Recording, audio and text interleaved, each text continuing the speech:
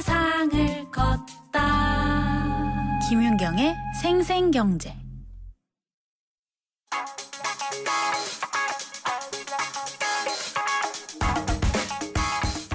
안녕하세요. 멜로디 경제 대중음악 평론가 이대화입니다. 음악 영화 비긴 어게인의 OST 음반 판매량이 2만 장을 넘어섰다고 합니다. 요즘처럼 가요가 대세인 시대에 팝 음반이 만장 단위의 판매고를 올리기가 쉽지 않은데요. 음원 차트에서도 주제곡 Lost Stars가 여전히 10위권 안에 머물러 있죠. 입소문으로 잔잔한 반응을 일으켰던 Begin Again의 인기가 정말 대단한 것 같습니다. Begin Again은 몰락한 제작자 댄과 천재 싱어송라이터 그레타가 음반을 만드는 이야기인데요. 배경으로 나오는 뉴욕 거리의 낭만에 더해서 연주되고 들려지는 곡들이 너무 아름다워서 많은 분들이 감동의 찬사를 보내왔습니다. 영화는 벌써 국내 누적 관객 수 324만 명을 기록했다고 하죠. 이건 역대 다양성 영화 흥행 1위라고 합니다. 이번 Begin Again OST 열풍 덕분에 올해 연말 가요계 결산에선 해외 OST 열풍이라는 키워드가 꼭 등장할 것 같다는 생각도 듭니다. 올해 초에 큰 흥행을 거뒀던 겨울왕국의 Let It Go도 음원 차트 상위권에 오르면서 엄청난 히트를 했으니까요. 음악을 애덤 리바인이 부른 버전의 Lost Stars 듣겠습니다. 마룬5의 보컬 애덤 리바인은 이 영화에서 주연으로 출연하고 있기도 합니다.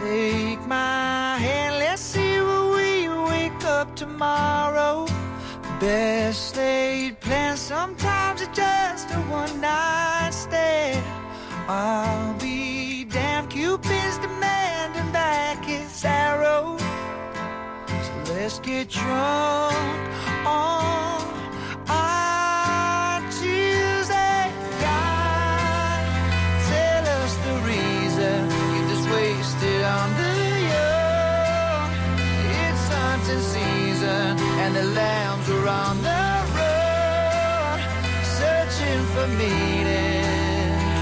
But are we all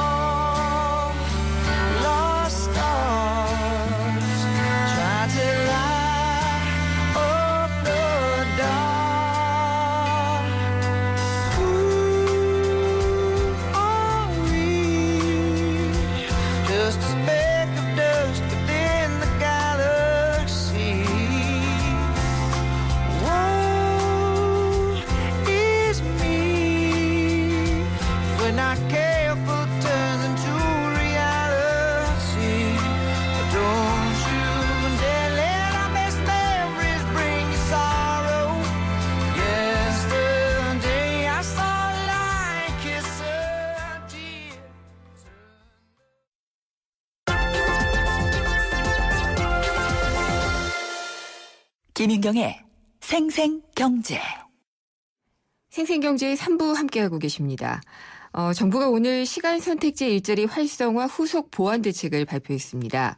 작년 11월이었죠. 벌써 1년이 됐네요. 시간 선택제 일자리를 범정부적 차원에서 지원하겠다라고 어, 물꼬를 텄죠.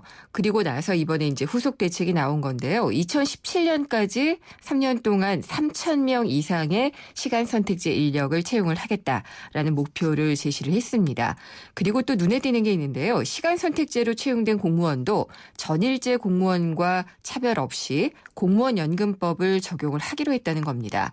어, 많은 좀 혜택을 준다는 건데 구체적으로 어떤 것들이 달라지는지 어, 살펴보겠습니다. 고용노동부의 시간선택제 창출 지원팀 윤수경 팀장님 연결해 보겠습니다. 안녕하십니까? 예, 안녕하세요. 네. 어, 1년 동안 많이 준비하신 것 같아요. 예, 네, 그래서 이게 이번에 후속 보완 대책으로 시간 선택제 일자리를 더 늘리겠다라고 발표를 하셨으니까요. 어떤 것들이 좀 보완이 됐는지 짚어주세요. 예, 그 이번 그 후속 보완 대책은 그간 정책을 추진하면서 미진했던 부분을 좀 보완하고 네. 또 점검을 통해서 어, 필요한 부분들은 새로운 지원 방안을 포함하고 있습니다. 네. 이번 대책은 두 가지에 중점을 두었는데요.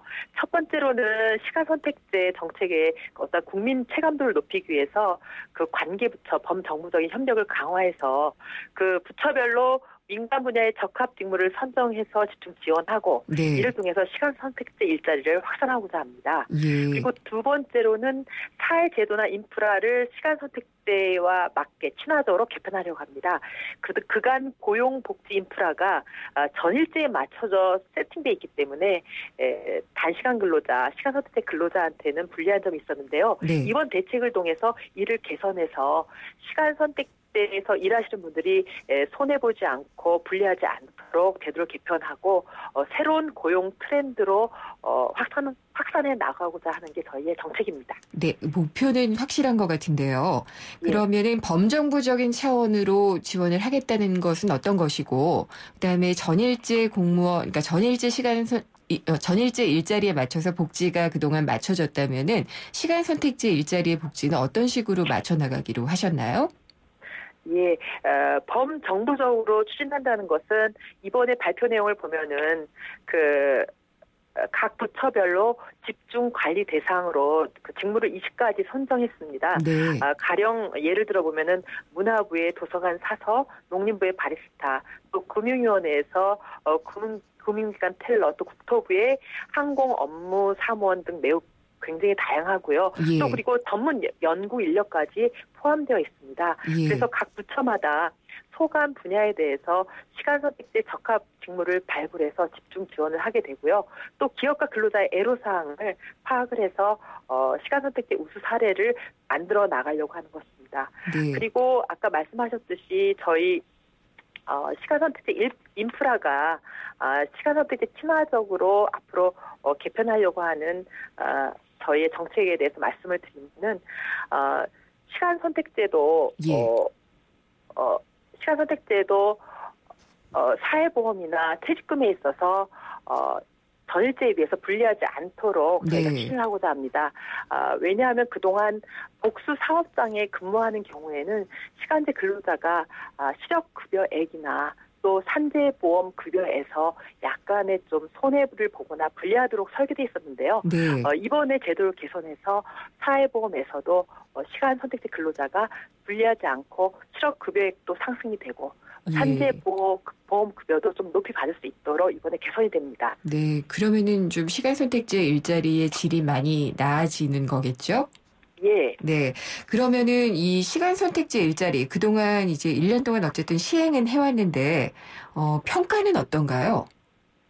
예, 그 시간 선택제 일자리 그 정책을 작년 9월부터 본격적으로 추진해서 어, 딱 1년이 되었습니다. 네. 그렇기 때문에 1년 만에 정말로 국민이 체감적으로 느끼고 가시적 성과가 그 뚜렷하게 나타나지는 않지만은 지금 저희가 보기에는 그 전일제와 차별 없는 양질의 일자리 확산을 위해서 어 정부적으로 노력을 하고 있고요. 네. 그리고 우수 사례 전파 또는 그리고 채용 박람회 등을 통해서 어, 일자리를 많이 창출하면서 어, 저희가 최근 조사 결과를 보니까 시간 선택제에 대한 국민의 인식도 많이 개선되고 있고 예. 어, 기업도 최근 조사에서 보면은 44.4% 거의 절반에 해당하는 기업이 시간 선택 제 일자리 참여 의사를 보이고 있습니다. 네. 그러니까 그렇기 때문에 정부가 그 시간 선택지 일자리를 범정부적인 중요한 정책으로 추진한 뒤부터는 아, 시간제 일자리의 근로 조건도 다소 개선되고 있고 네. 또일 가정 양립에 대한 그 근로자들의 관심도 굉장히 높아지는 만큼 시간 선택지 일자리가 앞으로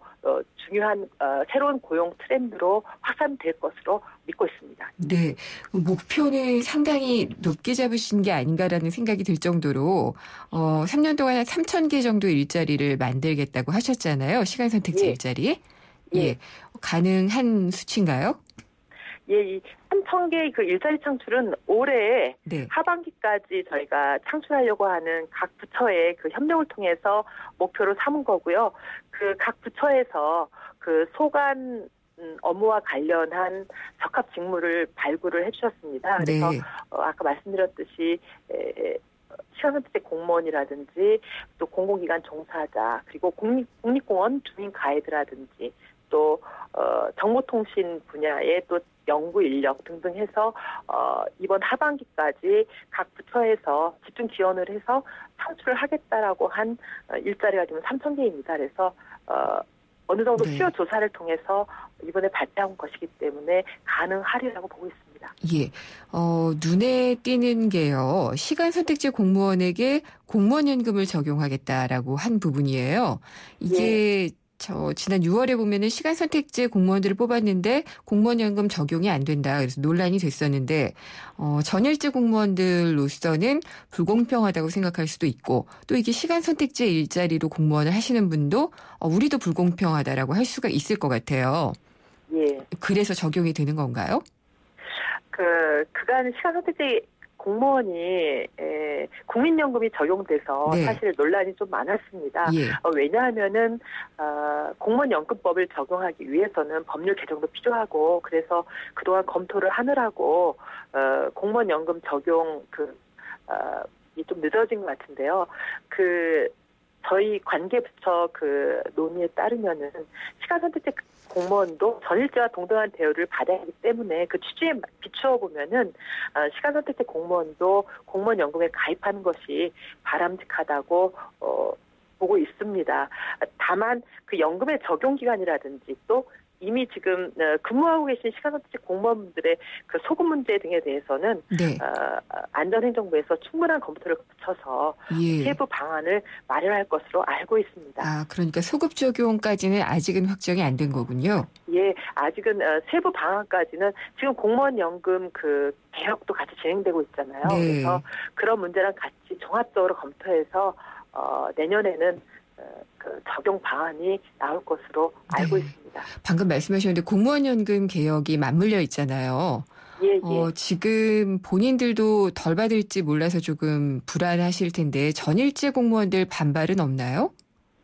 아, 저희 이제 고용노동부에서는 그 네. 연금과 관련해서는 제가 뭐 따로 검토하고 있는 게 지금 없어서 어, 제, 어, 제 생각으로는 저, 어, 안전행정부에서 연금 담당하시는 분이 좀 어, 아, 세부적인 잘알것 같습니다. 입장을 아, 말씀해 예, 주시기가 애매하다는 말씀이시죠? 예, 예. 네, 예. 알겠습니다. 저희가 자세한 내용은 예. 아직 네. 잘 어, 파악하지 못하고 있습니다.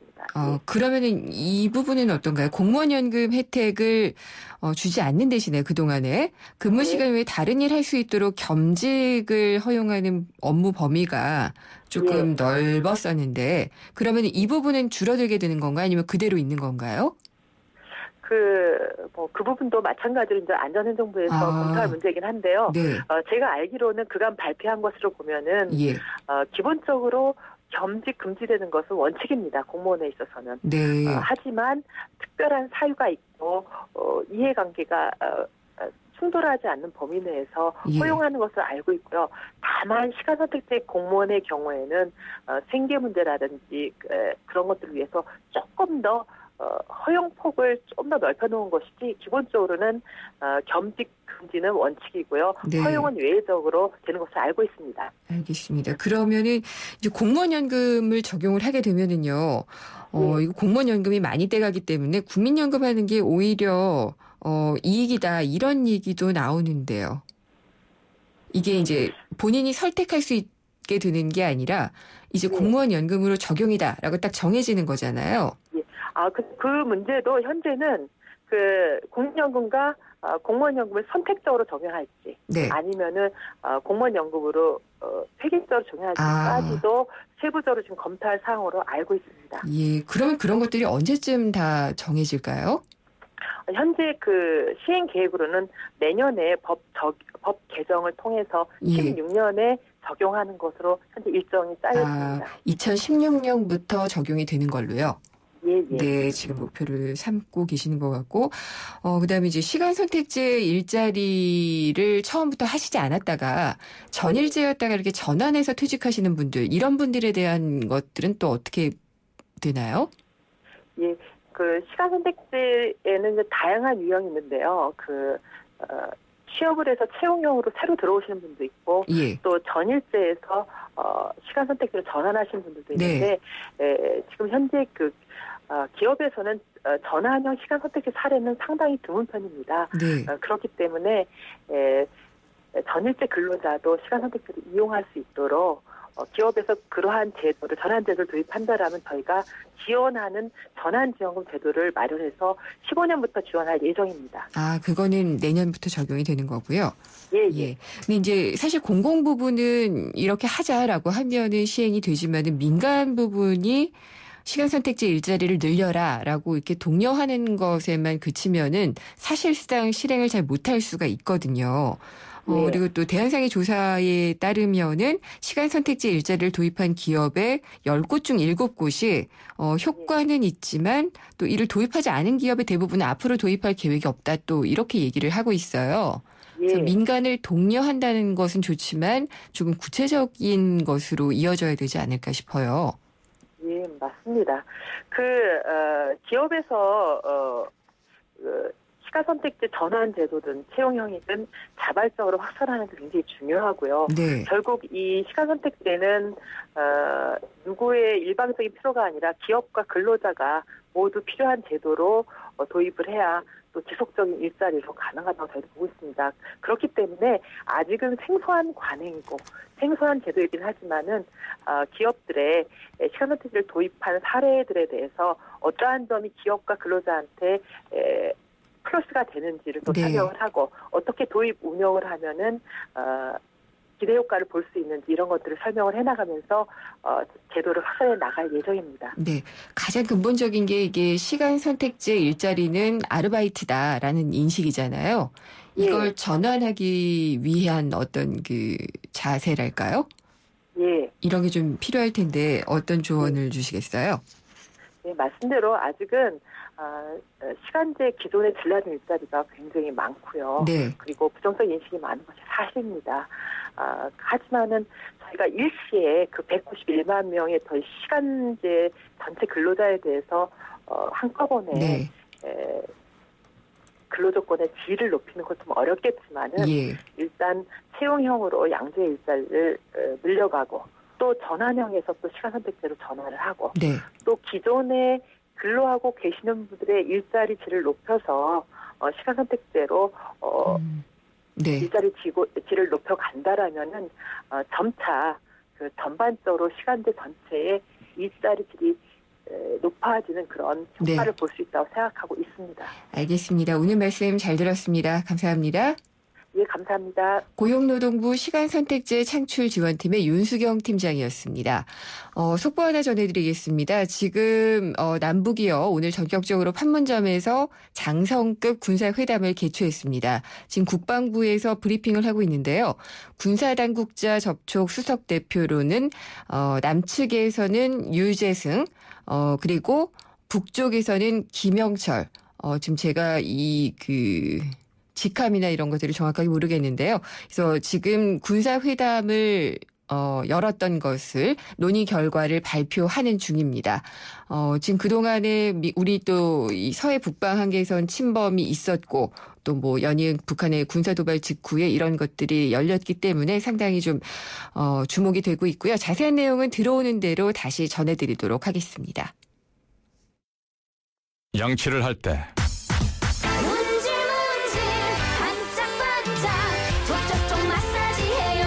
이치는 아픈 잇몸에 직접 착용합니다. 잇몸 치료와 양치를 한 번에 닦으면서 치료하는 잇몸약 잇치 부채표 동화약품 예, 잠시 후 생생경제 4부에서는 경제 이면을 짚어보는 경제 뉴스 뒤집기, 어, 그리고 어, 알짜 부동산 코너가 준비가 되어 있습니다. 궁금한 점이나 의견 있으면 보내주십시오. 문자는 어, 샵의 0945번, YTN 라디오 앱 예스나 또 웹사이트를 통해서 남겨주시면 됩니다. 어, 잠시 후 4부에서 뵙도록 하겠습니다. YTN 라디오와 YTN 사이언스가 주최하는 최고의 공연. 아프리카 말라위의 희망을 노래하는 루스빌로 밴드의 내한 공연이 오는 10월 22일부터 24일 저녁 7시 30분 국립극장 하늘극장에서 열립니다. 메조소프라노 김청자 교수의 사랑과 헌신으로 만들어진 기적의 밴드. 아프리카 고유의 리듬과 선율. 그 진한 감동의 순간을 만나세요. 미래를 위한 작은 투자 YTN 라디오 김인경의 생생경제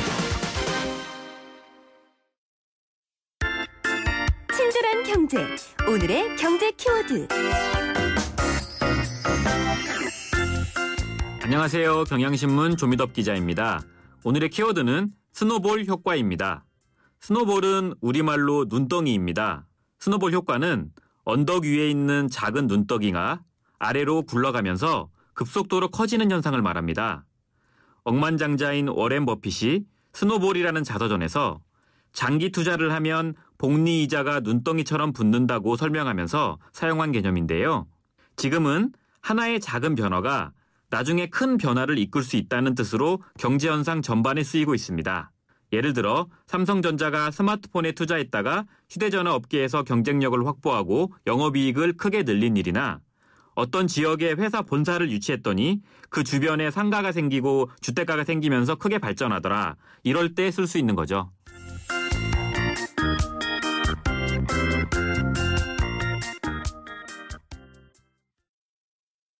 백년의 편지 써보셨나요? 지금의 마음을 영상이나 음성 편지로 보내주시면 정해주신 미래의 날짜에 전해드리겠습니다. 10년이 걸리든 20년이 걸리든 꼭 전해드리겠습니다. 변치 않는 마음을 전하는 SK텔레콤 백년의 편지. 지금 티스토어에서 다운받으세요. 경제 뉴스의 진실과 오류 그것이 알고 싶다 경제 뒤집기 네, 경제 뒤집기 시간입니다. 세상의 베이스가 되다 포스코 협찬으로 4부 시작하겠고요. 어, 오늘 경제 뉴스 뒤집기는 한국은행 기준금리 인하 하면서 경제 전망치도 수정해서 발표를 했거든요. 지금 한국은행뿐만이 아니라 국제통화기금 IMF도 그렇고 경제 전망을 다 낮춰가고 있는데 국내의 경제가 어디로 가고 있는지 좀 불안해집니다. 오늘은 김영익 서강대 경제대학원 교수와 함께 얘기 나눠보도록 하겠습니다. 교수님 안녕하십니까? 예, 안녕하십니까. 네, 오늘 한은이 경제 전망치를 수정을 했는데요. 그 내용부터 좀 살펴볼까요? 예, 한국은행이 분기별로 경제 전망을 해오고 있는데요. 예, 지난 7월 전망보다 경제 성장률 전망치를 낮췄어요. 예, 지난 7월에는 올해 3.8% 내년에 4% 성장한다고 전망했는데 올해를 3.8에서 3.5로 낮췄고요.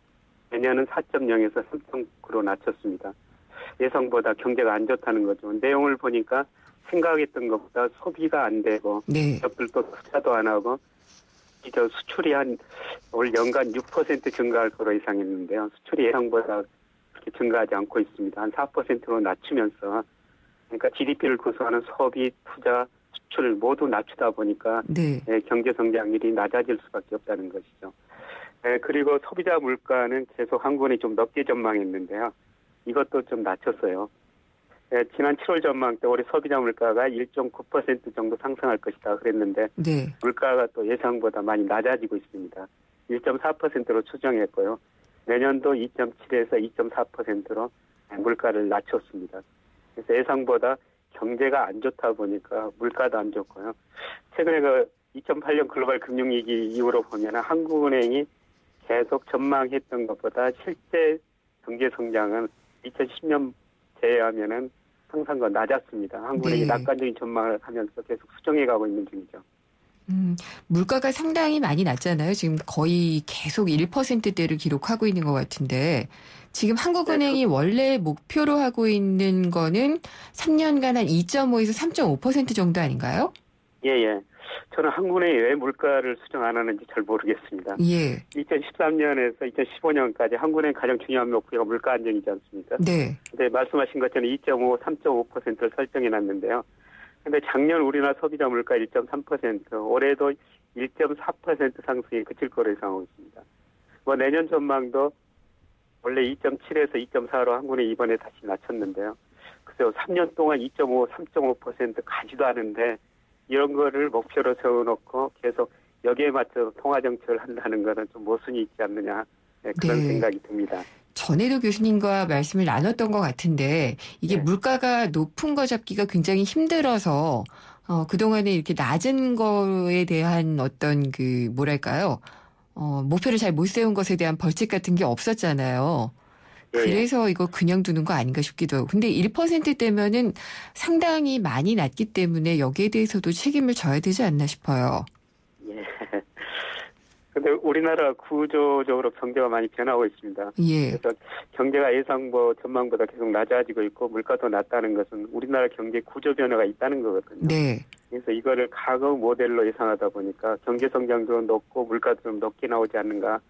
한국 은행이 참 그 좋은 인재를 많이 보유하고 있지 않습니까? 네. 한번 정말 우리 경제가 어디로 가는지 구조적으로 한번 진단해가지고 좀 장기적인 전망대로 내놓고 거기에 따라 가지고 정책 대응도 해야 될 것 같습니다. 네, 지금은 너무 차이가 나잖아요. 그럼 물가를 아마 더 수정을 해야 되지 않을까 싶은데, 네. 어, 물가를 만약에 물가 수준을 상승률을 좀 하향 조정한다. 그러면 이건 우리 경제에 어떤 의미라고 해석을 하면 될까요? 예, 뒤늦게나마 현실을 인식한다는 그런 의미가 되고요. 근데 이제 물가 목표를 하향 수정하면은 한국은행이 돈을 더 풀겠다 시장에서 이런 기대가 나올 수가 있는데요. 네. 근데 테일러 준칙으로 생각해보면 다른 의미거든요. 테일러라는 경제학자가 적정금리를 계산할 때 테일러 준칙이라는 것을 만들어준 뜻이 있는데요. 이거는 적정금리를 계산할 때 그 나라 경제가 잠재 성장률보다 얼마나 더 성장하고 덜 성장하느냐. 그 다음에 잠재적인 물가 수준, 목표 물가보다 더 물가가 오르냐 내리냐에 따라 가지고 금리를 결정하게 되는데요. 네. 근데 물가 목표를 낮추면은 적정금리 수준은 좀 올라가게 돼요. 좀 이해하기 쉽지 않을 텐데 예를 들어서 지금 2.5에서 3.5% 가운데 3%를 잡으면은 그 물가가 2.4니까 목표보다 1.6% 낮죠. 네. 그만큼 금리를 낮춰야 된다는 건데요. 근데 물가 목표를 예를 들어서 2%로 낮췄다. 그러면은 0.6밖에 물가가 마이너스 아니거든요. 그러면 금리를 내릴 여지가 그만큼 테일러 준칙에 하면 적정 금리는 상대적으로 높아지는 것이죠. 네. 그래서 이런 인식을 시장에서 조금 저 오해를 하고 있는 것 같습니다. 그렇군요. 어, 그리고 지금 사실 한국은행뿐만이 아니라 국제적인 기구들, 뭐 IMF도 그렇고 세계 경제 성장률 전망치를 다 낮추고 있거든요. 예. 그거 한번 짚어볼까요? IMF도 지난주 뭐 성장률을 낮췄는데요. 네. 어, 올해 3.3%, 내년에 3.8%, 지난 7월 전망보다 0.1, 0.2%포인트 낮췄습니다. 근데 선진국뿐만 아니라 이머징 경제도 다 나빠진다는 건데요. IMF 전망 보면은 세계 경제에서 미국만 좋다. 네. 미국 전망치는 올해 올렸습니다. 근데 유럽과 일본 경제가 상당히 안 좋거든요. 특히 이거 유럽 경제가 굉장히 어렵죠. 어제 그 독일 국채 10년물 수익률이 0.84%까지 떨어졌거든요. 네. 장기적으로 보면은 일본도 독일도 일본처럼 디플레로 가지 않을까 시장에서는 그렇게 우려하고 있습니다. 그래서 유럽 경제가 굉장히 안 좋다. 네. 네, 그래서 세계 경제 전망을 낮춘 거고요. 또 아시아 경제는 지난번 때하고 거의 수정을 안 했습니다. 아시아 경제는 그만 그만 그냥 성장한다 이렇게 네. 좀 보시면 될 것 같습니다. IMF가 보는 우리나라 성장률은 올해는 얼마고 내년은 얼마로 보고 있나요? 네, 올해 3.7이고 내년에 4%인데요. 예. 올해는 한국은행보다 좀 높고 내년에도 좀 높네요. 근데 그렇네요. IMF가 그렇게 전망이 있지는 않거든요. 예. 우리 경제를 저 한국은행 사람들이 더 많이 연구하지 IMF 몇 사람이 더 많이 연구하는 건 아닐 겁니다. 그런가요? IMF 전망치는 좀 낙관적이다 이렇게 네. 생각합니다. 어, 근데 어쨌든 별로 좋지 않을 것이라는 얘기가 이제 유럽이나 일본 뭐 이쪽에서 좀 많이 나오고 있는 것 같은데 이런 것들이 전 세계 경기를 끌어내릴 가능성도 있을까요? 네, 그렇죠. 사실 내년에 3.8% 성장한다는 세계 경제가 과거 평균 3.6%거든요. 평균보다 높은 성장인데 왜 사람들이 이렇게 불안하느냐? 예. 네, 그거는 네, 전 세계가 능력 이하로 성장하고 있습니다. 2008년 네, 글로벌 금융위기를 겪으면서 선진국이 능력보다 한 5% 마이너스 성장을 했고요. 올해도 한 3% 정도 능력 이하로 성장하고 있거든요. 네. 그래서 디플레 압력이 존재한다 그런 이야기인데요. 이게 해소되려면 수요가 늘어나야 되죠. 가게가 소비를 늘리든지 정부가 투자를 늘리든지 네. 기업이 투자를 늘리든지 정부가 돈을 써야 되거든요. 근데 정부는 상당히 부실이 졌습니다. 일본 정부 부실이 졌고 미국 정부도 부실이 졌습니다. 그래서 정부가 쓰는 데는 한계가 있고요. 그다음에 전 세계적으로 가계가 지금 우리나라도 문제입니다만 부채가 굉장히 많거든요. 네. 가계가 그렇게 소비할 여력이 많지는 않습니다. 그렇다 보면은 그 GDP 갭 수요가 증가해서 해소될 수는 없겠고요. 결국 공급 능력이 축소돼야 되거든요. 공급 능력이 축소되려면은 기업들이 구조 조정을 해야 된다는 것이죠. 네. 예, 기업들이 좀 없어져야 된다는 겁니다. 근데 그게 또. 이게 어떻게 뭐 우리나라 외환위기 때처럼 어떤 변수가 딱 있어서 정리가 되고 뭐 이런 게 아니라면은 자율적으로 해야 되는 거잖아요. 예. 쉽지 않은 것 같아요. 유럽 경제가 이렇게 부진한 것은 구조 조정을 별로 안 하기 때문입니다. 사실 네. 우리는 IMF 경제 위기가 오면서 정말 그 뼈아픈 구조 조정을 그랬죠. 예, 예. 예. 한국 경제가 안고 있는 뭐 이거 외에 불안 요인은 어떤 것들이 좀 있을까요? 저는 N약세라고 보고 있는데 최근 네. 좀 추천거리고 있습니다만은 원 백엔한 일이 올해 한 996원 정도 되는데요. 내년에는 950원까지 떨어질 수가 있거든요. 그러면 현대경제원 같은 데 분석해 보면은 내년 수출이 4.2% 감소할 수 있다. 우리나라 지금 내수 불안한 상태에서 수출마저 N약세를 감소하면은 우리 경제가 한국은행이나 IMF가 전망한 것처럼 그렇게 성장할 가능성이 상당히 낮죠. 네. 그래서 한국은행도 이번 경제 전망하면서 말미에 그 자료를 보니까요. 에, 지금 전망한 것보다 하방 리스크가 크다 이런 표현을 했는데 아마 지금 전망한 것보다 내년 경제 성장률이 낮아질 가능성이 높습니다. 어, 에, 그럼 어떻게 해야 될까요? 그러면 정부나 한국은행이 할 수 있는 카드는 뭘까요? 네, 정부 지출 좀 계속 그 늘린다고 이번에 정부가 내년 예산을 많이 늘렸고요. 그게 세금이 많이 거쳐야 되는데 좀 한계가 있을 수 있고 네, 저는 통화 정책을 지금보다도 신축적으로 운용해야 된다고 생각하고 있습니다. 네. 물론 오늘 또 금리 내렸습니다만은 뭐 일본이 돈 푸는 만큼 풀 수는 없어도 좀 풀어가지고 원화 강세를 일본 엔화 약세에 대해서 어느 정도 막아야 되거든요. 네. 네, 그럴 필요는 있을 것 같고요. 알겠습니다. 장기적으로는 참 예. 구조 조정을 해야 되죠. 예. 네, 지금 뭐 통화 정책이나 재정책은 일시적인 효과밖에 없고요. 네, 지금 그 다시 한번 구조 조정해가지고 네, 다시 그 성장의. 기틀을 좀 마련해야 될 것 같습니다. 네, 체제 개선이 필요하다는 말씀이네요. 오늘 말씀 잘 들었습니다. 예, 고맙습니다. 김영익 서강대 경제대학원 교수였습니다.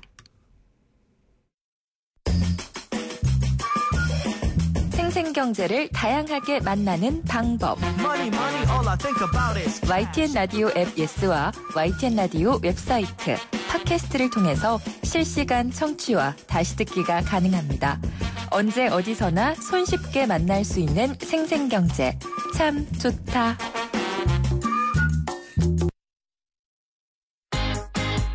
생생 알짜 부동산 네, 부동산 소식 전해드리기 전에요. 이 앞서 전해드렸던 국방부 김민석 대변인 브리핑에 나왔던 내용을 좀 추가로 전해드리겠습니다.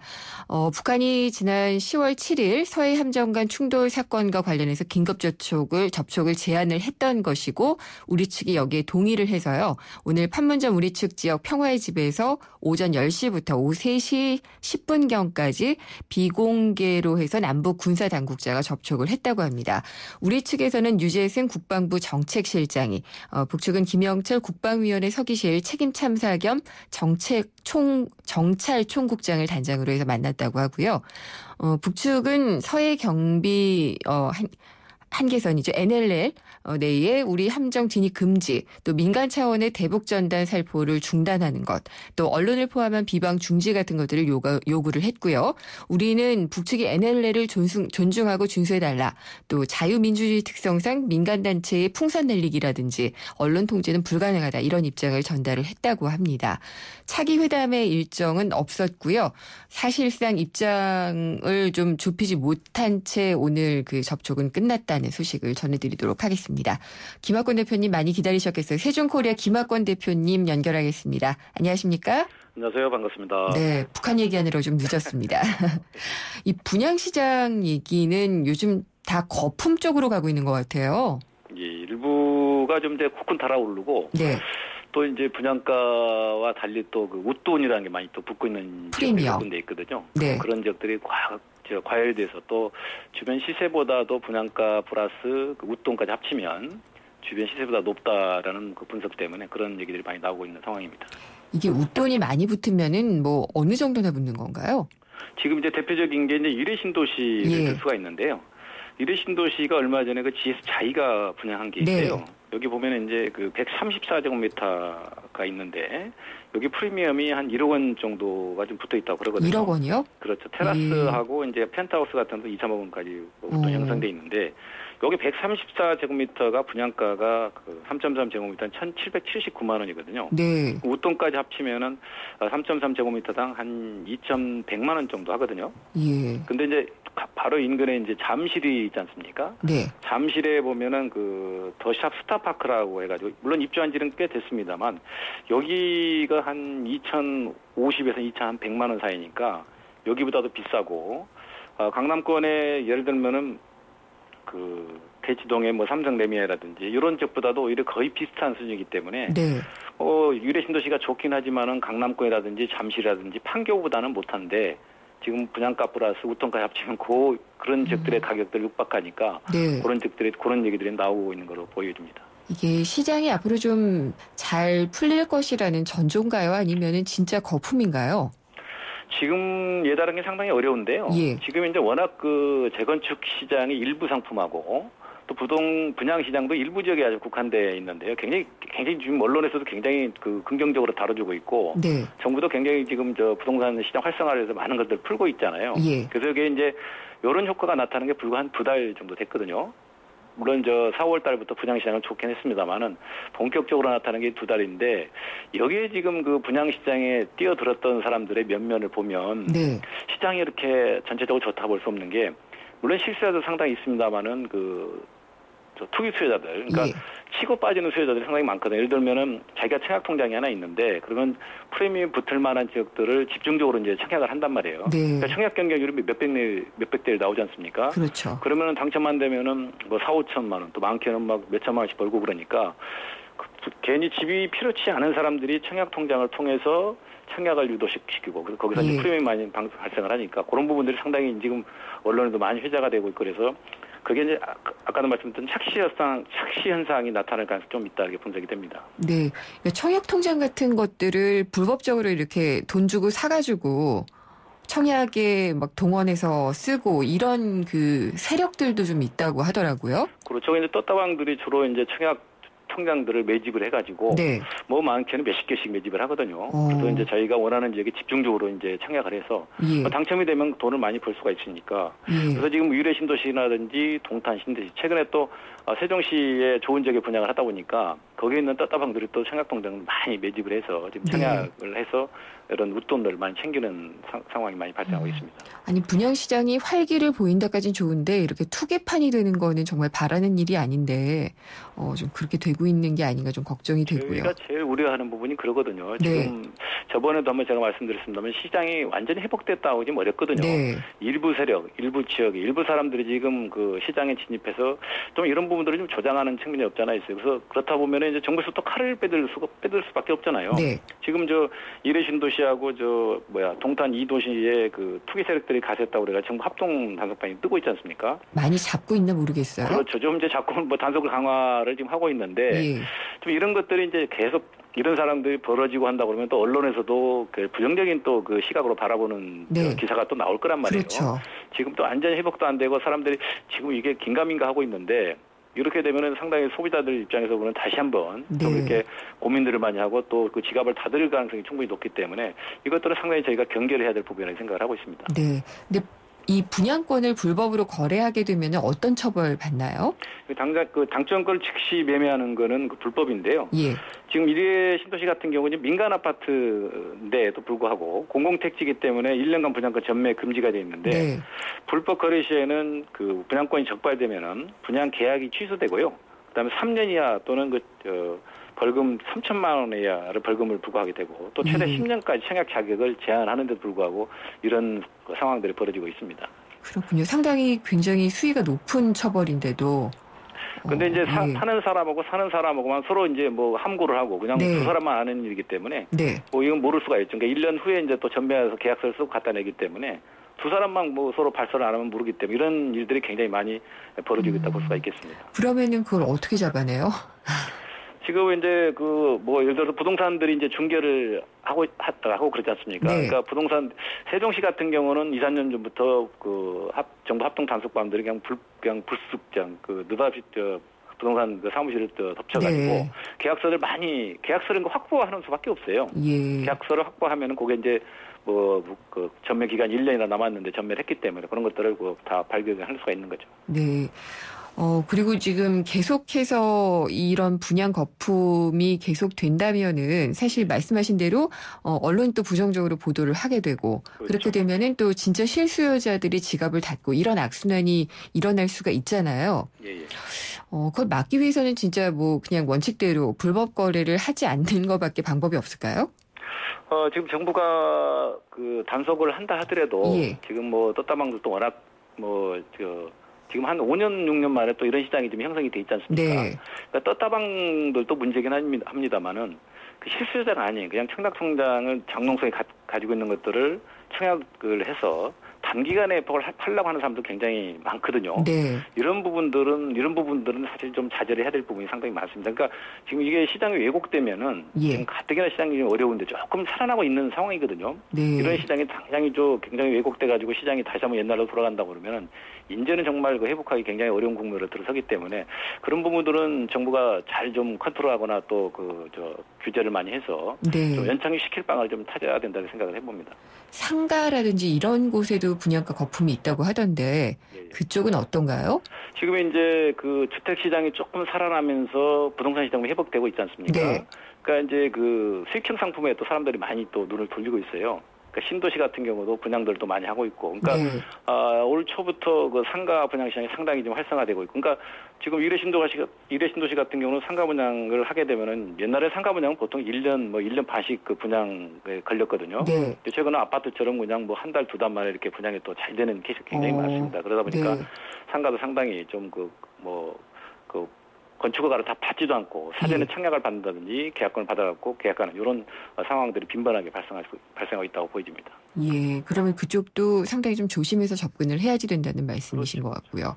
그러면은 이렇게 뭐 거품이다 아니다 분양 시장에 대한 얘기도 있고 뭐 일부 지역이지만은 매매가 활기를 띠고 있다 이런 보도도 나오고 그러는데 과연 시장이 그러면 전체적으로 어떻게 갈 것인지가 제일 궁금해요. 어떻게 보시나요?